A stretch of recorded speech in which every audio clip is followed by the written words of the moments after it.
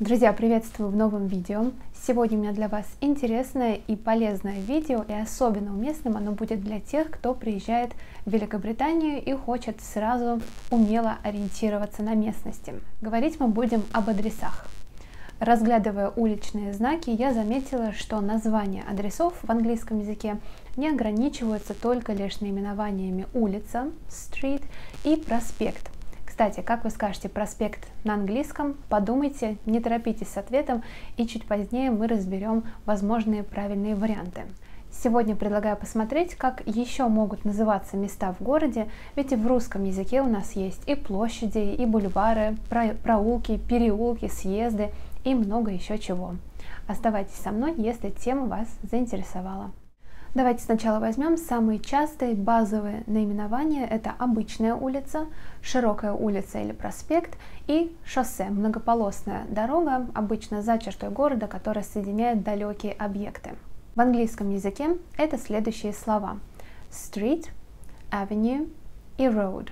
Обратите внимание на проспект, это avenue, а не проспект, как можно было бы подумать. В английском языке есть это слово, но оно имеет абсолютно другой смысл. Это вид на будущее, перспектива. Например, promising prospects, какие-то обнадеживающие перспективы. В этом есть, конечно, логика, потому что проспекты обычно длинные, и можно заранее посмотреть, что находится в отдалении. Кстати, в давние времена Невский проспект в Санкт-Петербурге называли Невской перспективой, но все-таки это старая вариация, сейчас в современном языке такие замены невозможны и говорить нужно правильно и корректно. Так что не допускайте этой ошибки, если вы живете на Невском или на другом проспекте, можете сказать «My address is Невский Avenue». Есть и другой французский вариант, помимо авеню, да, это тоже французское слово, можно сказать бульвар, да, бульвар. Но ну, это на усмотрение планировщиков, уж какое они слово наименование выберут, такое и будет красоваться на картах. Еще разновидность широкой дороги – аллея, alley, но все-таки здесь подразумевается наличие деревьев по обеим сторонам дороги, ограниченное автомобильное движение и более комфортное движение для пешеходов. Давайте теперь рассмотрим маленькие улочки и замкнутые пространства. Проулки, переулки можно называть словом lane, way или шотландским словом wind. Извилистая дорожка в виде полумесяца, например, полукруга, а, будет именоваться crescent, и, собственно, это и есть полумесяц, именно так мы называем Луну в растущей или убывающей фазе. Проезды называем словом drive, проходы, соответственно, walk или path.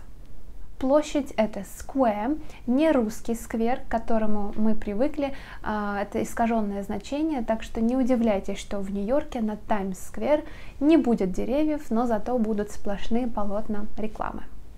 Внутренние дворы, которые обычно принадлежат только жильцам и посторонние люди туда, скорее всего, не пройдут, а, называют в зависимости от того, что там находится сейчас или что было прошлом.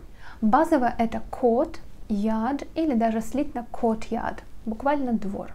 Если внутри имеется сад или рощица, то можно сказать gardens или grove.